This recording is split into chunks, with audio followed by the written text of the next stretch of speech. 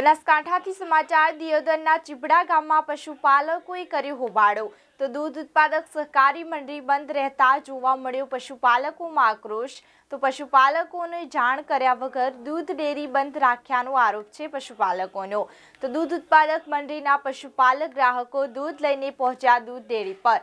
પરંતુ દૂધ ડેરી બંધ રહેતા પશુપાલકો ડેરી આગળ બેસી ગયા અને નારાજગી વ્યક્ત કરી. તો યોદનના ચીપડા ગામમાં પશુપાલકોએ હોબાળો કર્યો છે. તો દૂધ ઉત્પાદક સહકારી મંડળી બંધ રહેતા જોવા મળ્યો પશુપાલકોમાં આક્રોશ. તો દૂધ ઉત્પાદકોના જાણ કર્યા વગર દૂધ ડેરી બંધ રાખ્યાનો આરોપ છે પશુપાલકોનો. તો દૂધ ઉત્પાદક મંડળીના પશુપાલક ગ્રાહકો દૂધ લઈને પહોંચ્યા દૂધ ડેરી પર. તો દૂધ ડેરી બંધ રહેતા પશુપાલકો ડેરી આગળ બેસી ગયા અને નારાજગી વ્યક્ત કરી. અમારી આથમણા વાસની ચીભડા ગામની ડેરી છે.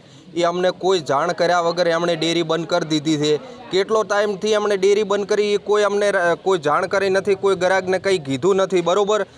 કે અમારા મંત્રી છે, તેજાભાઈ મંત્રી, ચેરમેન અરજણભાઈ, એમને અમે સવારમાં અહીંયા છ વાગે ગ્રાહકો આવ્યા એમને રિક્વેસ્ટ કરી. અથવા અમારો ફોન કે અમને કોઈ જવાબ આપતા નથી. ચેરમેન અર્જણભાઈએ એમનો ફોન સ્વિચ ઓફ કરી દીધો છે. મંત્રી સાહેબને એમના ઘરે જઈને અમે જોણ કરી તો એ અહીંયા ડેરી ઉપર આવવા માગતા નથી. બરોબર? અથવા કે કોઈ ગ્રાહકને એ જવાબ જ નથી આપતા. હોજે દૂધ ભરાવા આવ્યા ત્યાં ડેરી ચાલુ હતી.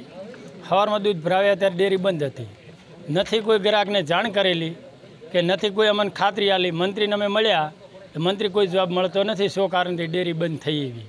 અને અત્યારે અમારે આ દૂધ ઉપર બધુંય ખાવાનું પીવાનું બધું ચાલે છે. અત્યારે બે હજાર પચીસોના દૂધનું નુકસાન થાય, એનો મને વળતર કોણ આપે એવી અમારી મોગ છે. સવારથી મંડળી બંધ છે.